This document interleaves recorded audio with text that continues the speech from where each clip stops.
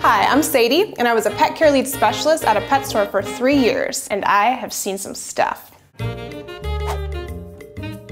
My very first job was at a pet store and I worked there for two years. We were 15, you know, so most of the time people weren't gonna hire us.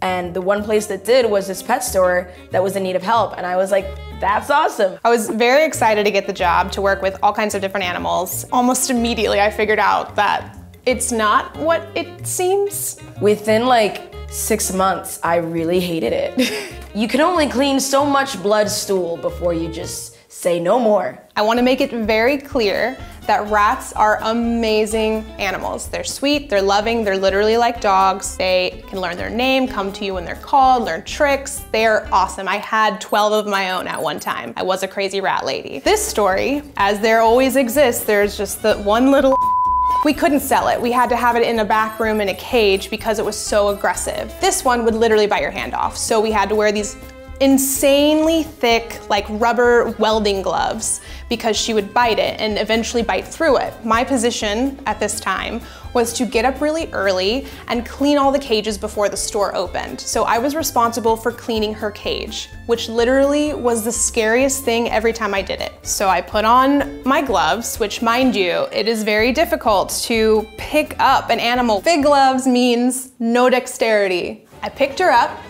put her in the critter tote, closed the lid, and went to clean her cage. When I turned around, she was out of the critter tote. This rat, she was smart. She was very smart because rats are incredibly intelligent. It is incredibly hard to get out of a critter tote, but some critter totes have a little thing at the top, and she knocked it up, pushed it out, got out, which means she was loose on the floor, and I had to pick her up. My heart was racing. I was so scared. I couldn't pick her up. It's like picking up a coin with huge welding astronaut gloves. So in this moment, I make a decision. I'm going to take these gloves off. It's the only way I'm gonna get this rat. I went in for it, grabbed her first try, immediately moved her over to her clean cage, and she bit the hell out of my finger. So much so that it cracked completely through my fingernail all the way up to the cuticle. It was the most terrifying thing. I was bleeding a lot. Didn't have to go to the hospital. I ended up being okay. Rats do not have rabies. I still love rats, just not this one. There was this one time that we had this male rabbit and this female rabbit. They were having sex, but it really didn't feel like the female rabbit wanted that. So we had to like keep separating the male rabbit, but he was like horribly aggressive. It was like a lot. So we had to put him in another cage. The next morning I went back to clean the female rabbit's cage and we have this little igloo thing, this little plastic igloo that she can kind of play in and go through.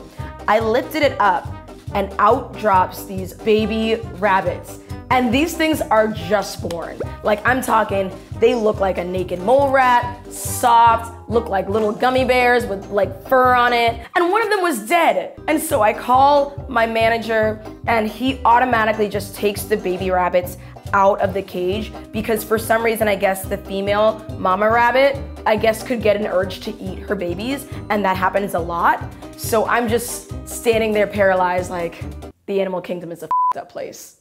We had a king snake, which is something that we regularly sold, but this one in particular was a little asshole. And so bad with the reputation amongst us coworkers, none of us wanted to be the one to like take it out and show it. So I got asked, will you take this snake out? I wanna see it. I had this one coworker who happened to be working with me at the same time, who is very nice, very kind of flirty. So I asked him, please do this for me. And he did, and he regretted it immediately. If you're watching this, I'm so sorry. What ended up happening when he took the snake out is it coiled and attacked him, bit him, and was literally not detaching his jaws from his hand. We started freaking out. The customers were like, never mind. I had to find my manager. We were literally Googling how to detach the snake's jaw from his hand, and we couldn't figure it out. So eventually we were just kind of like cooing the snake. I say we, I wasn't doing anything. It was my manager. I was told it doesn't necessarily hurt. It's just kind of like, get this out. And so pulling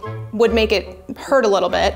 So we were trying to massage its head to release the jaw. And it was a very busy day and poor coworker was having to walk around with it and like talk to customers and be like, look, I have a snake, I can't help you. After 20 minutes or so, the snake finally released its jaw.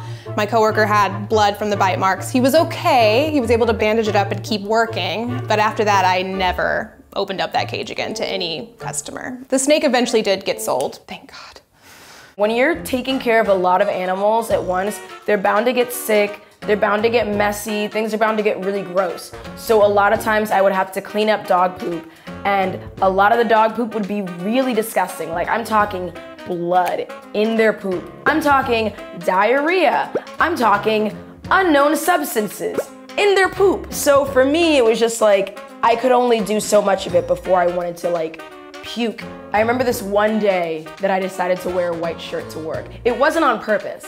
It was that I was wearing a white shirt at school and then I got to work and I was like, I have no clothes. There was this one Cocker Spaniel that was such a sweetheart, but so annoying. And that was the one with the bloody stool that was also a little bit yellow. So that day I wanted to try to like pick up the poop with the um, newspapers that was in his cage. He just got so excited that I was opening the cage and he just jumps on me and doesn't stop jumping on me. So on me is just like just almost scratches of yellowish brown reddish poop all over this white shirt I'm wearing.